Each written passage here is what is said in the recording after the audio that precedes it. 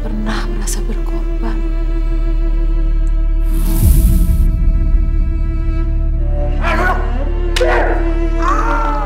Kau mami udah nggak ada.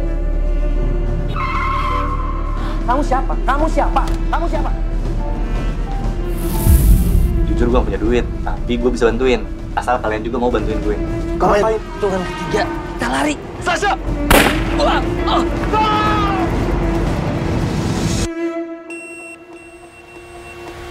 Kita harus mengembangkan industri strategis. Itu penting. Kenapa kok cuma kalian berempat yang diundang menteri? Cacing banget diri saya. Kita aman, kita pulang.